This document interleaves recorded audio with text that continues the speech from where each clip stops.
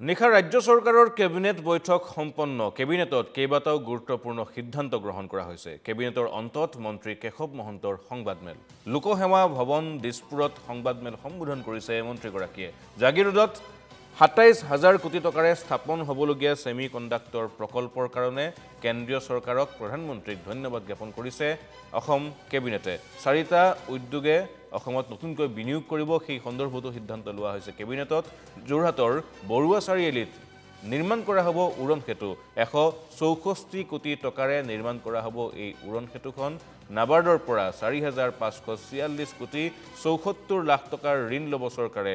সেই সন্দৰ্ভতো সিদ্ধান্ত লোৱা হৈছে কেবিনেট বৈঠকত। এটা অসমৰ কাৰণে যুগান্তকাৰী পদক্ষেপ। আজি কেইদিনমান আগতে ইউনিয়ন কেবিনেটে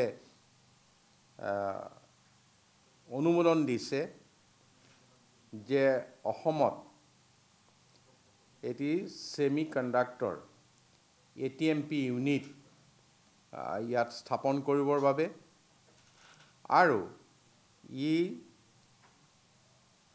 সাতাইছ হেজাৰ কোটি টকাৰ বিনিয়োগৰে জাগিৰোডৰ যি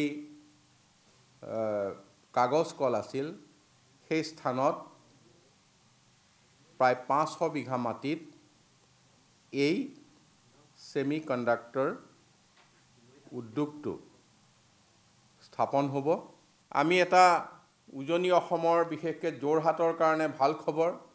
আমি সকলোৱে জানো যে যোৰহাটৰ যি Barua Chariali A S T চিৰ ওচৰত আৰু সিফালে ভোগদৈ দলং। এই গোটেই ঠাইখিনি যথেষ্ট যান জোঁটৰে ভৰা। আৰু এতিয়া আজি কেবিনেটে এটা সিদ্ধান্ত গ্ৰহণ কৰিছে এশ চৌষষ্ঠি কোটি সাতাশী লাখ টকাৰে যোৰহাটৰ বৰুৱা চাৰিআলিৰ পৰা ভোগদৈ দলঙলৈকে এখন three lane flyover elevated corridor.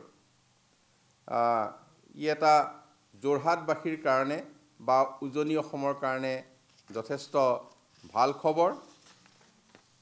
ইয়াৰ পিছতে আজিৰ কেবিনেটে পল্ট্ৰি ফাৰ্মৰ কাৰণে বিশেষকৈ